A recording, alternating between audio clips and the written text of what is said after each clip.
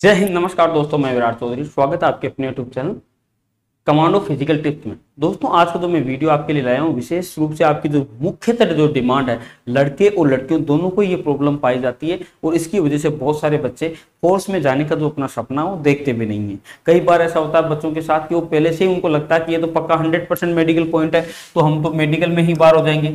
लेकिन उनको नहीं पता कि आप इसमें ठीक हो सकते हो, आपको कोई भी प्रॉब्लम नहीं है। अगर ये प्रॉब्लम है, इनको आप ठीक करा सकते हो। लेकिन बहुत सारे बच्चों के जो क्वेश्चन भी रहते हैं और कुछ बच्चे निराश होकर तैयारी भी नहीं करते। वो कौन कौन से पॉइंट है, मैं आपको बता दूँ एक तो होता है पाइल्स दूसरा होता है जो मुस्सा, या इसी के कई प्रकार के नाम है, जैसे बवासीर भी बोलते हैं। कईयों की जो चमड़ी होती है हिप की, अंदर से हल्की सी चमड़ी निकली हुई होती है, कईयों के अंदर से खून भी निकलता रहता है। उसको कुछ और नाम से भी जाना जाता है कि जो आपका पीछे का जो बेक होल है, उसमें कट ऐसे ऐसे कट कट के निशान होते हैं, उनमें से कई बार आपके ब्लड भी निकलता है। ठीक है? और उस ब्लडिंग की वजह से आपको बहुत सारी परेशानियों का सामना भी करना पड़ता है लाड ठीक है? इसकी वजह से लगता है कि इन प्रॉब्लम अगर आपके होगी तो आप पोस्ट में जाने का जो आपका सपना वो अधूरा रह जाएगा। लेकिन मैं आपको बता दूँ, ऐसा बिल्कुल भी नहीं है। क्यों? क्योंकि आप कमांडो फ़िज़िकल टिप्स चैनल पे है। यहाँ पर आपको हर एक चीज़ की टिप्स दी जाएगी और बिल्कुल सत्यता के साथ लाड लो। तो देखिए, क्यों नहीं है ऐसा? मैं आपको बता दूँ, जो फाइल्स की प्रॉब्लम होती है, आप सभी को पता कैसे जांची जाती है? आपका क्या करेंगे? आपको डाउन कर दिया जाएगा आपको खांसने के लिए बोलेंगे चाहे लड़के हो, चाहे लड़कियाँ।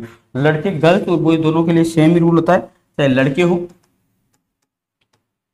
या लड़कियाँ। सभी के लिए रूल सेम है। चाहे लड़के हो, चाहे लड़कियाँ, सभी के लिए जो रूल है, ये सेम है। तो आपको खांसने के लिए बोला जाएगा जैसे ही खांसोगे तो पीछे का जो बेक होला वो ऑटोमेटिकली ओपन होता है। उसमें एक व्हाइट व्हाइट कलर का सही अगर पट्टी सी दिखाई देती है तो वहाँ पर उनको पता चल जाता है कि ये क्या है? पाइल्स है पाइल ज़्यादातर चटपटा खाना खाने से या जो ज़्यादातर लड़के होते हैं, उनको बीड़ी सिगरेट पीने की वजह से हो जाता है। तो अगर आप फोर्स की तैयारी कर रहे हो तो इनका सेवन ना करें। दूसरा होता है, जैसे मुस्सा या बवासीर इसी के जो नाम है, जैसे बेगोल में से वो ब्लड निकलता है मुस्से की वजह से बवासीर की वजह से, इसको इंग्लिश में और भी कई प्रकार से जाना जाता है, और भी कई नाम इसके बोलते हैं। लाट तो ये बीमारी भी आजकल बहुत सारे बच्चों में हो गई है, जो ज़्यादा चटपटा खाना खाते हैं, तेल खाते हैं ऑयली खाना खाते हैं, या चटपटा ज़्यादा खाने से, मसाला वसाला चिकन विकन खाने से भी ये परेशानी हो रही है।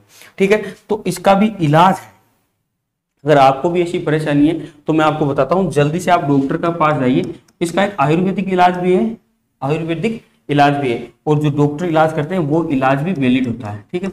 आपको वो इलाज करवा के भी एस एस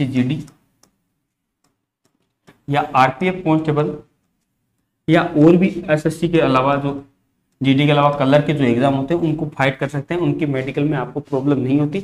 अगर आप इसका इलाज करवा लेते हो, और इसका इलाज है, दोस्तों, ये कोई बीमारी, लाइलाज बीमारी नहीं है। इसका आसानी से इलाज हो सकता है। ठीक है, कई बार आप डॉक्टर की सलाह लीजिए, कईयों को ये सजेशन दिया जाता है इसमें ऑपरेशन करने का। तो फिर बच्चे बोलते हैं कि अगर हमने बवासीर का ऑपरेशन करा लिया तो क्या हम सक्सेसफुल मेडिकल में सक्सेस हो सकते हैं? बिल्कुल हो सकते हो, लेकिन आर्मी के मेडिकल में नहीं। अगर आपको बवासीर है या अगर आपने बवासीर का ऑपरेशन भी करा लिया है तो आर्मी के मेडिकल में बहुत कम चांस होते हैं कि आपको पास करें।